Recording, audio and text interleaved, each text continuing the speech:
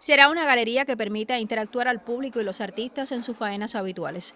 Es parte de las nuevas dinámicas que concibe este espacio de creación donde se interviene constructivamente la totalidad de esta infraestructura, un proyecto detenido desde hace nueve años. Pero finalmente, ¿no? aquí está la concreción de estos espacios. Todavía no cumplen todas las necesidades, por ejemplo, para la creación artística en el territorio, pero sin duda van a ayudar mucho a la comercialización y a la visualización de las obras de los artistas cienfuegueros, ¿no?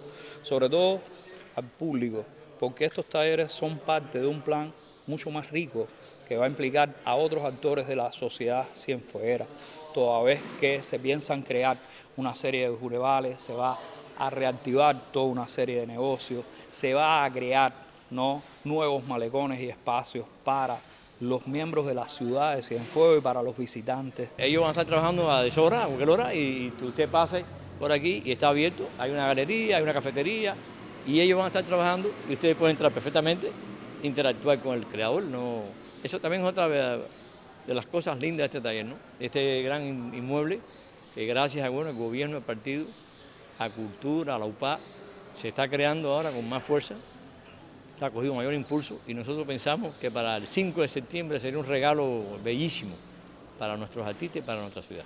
Quedaría pendiente, como te decía, hacer un gran taller de escultura en el centro del país. Creo que lo necesita no solo Cienfuegos, lo necesita el país, ¿entiendes? Donde se rescaten la cerámica artística, la creación de vitrales, otra serie de artesanías y artes que complementan la gran escultura, pero que también son eh, usos y, y recursos, ¿no?